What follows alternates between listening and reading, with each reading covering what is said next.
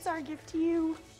An all expenses paid trip to luxurious Palm Springs. Just us girls and a T-bird. We road trip tomorrow. This is so sweet, you guys. Wait, so none of you sent me flowers? Um, we just got you the trip, Sav. No, I love the trip. Thank you so much for this, really. Someone sent you a bouquet? Yeah, the card read, happy birthday, no sender and no florist. It's obviously from Dom, that sneaky little. Joss, What?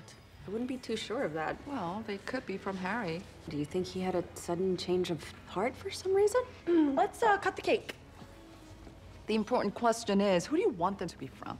I really don't know. Oh, come on. You must have had a wish or a flash of a feeling. I have flashes of feelings all the time about both of them. I certainly can't trust myself to choose which sliding door. Why?